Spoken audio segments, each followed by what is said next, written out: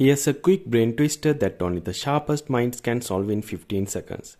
You are given that x to the power of 10 equals 5 and x to the power of 9 divided by y equals 5555. Now here's the challenge. What is 1 divided by x times y? I'll give you a moment to think. Alright, let's break it down. First we know that x to the 10 is 5 now let's divide both sides by x. Here's a quick reminder.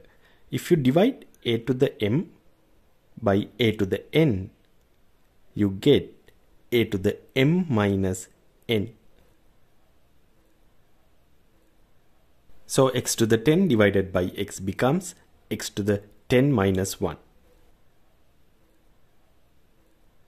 So now we have x to the 9 equals 5 divided by x.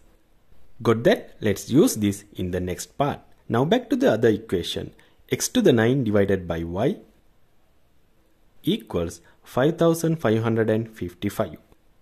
But we just found that x to the 9 is 5 divided by x. So let's plug that in. That gives us 5 divided by x times y equals 5555. Now here's the move. Let's divide both sides by 5. On the left, we get 1 divided by x times y and on the right 5555 divided by 5 and that gives us 1111 and that's the answer. Did you figure it out before I did? Drop a comment below, hit like if you enjoyed the logic and subscribe for more math puzzles that make you smarter in minutes. See you in the next one.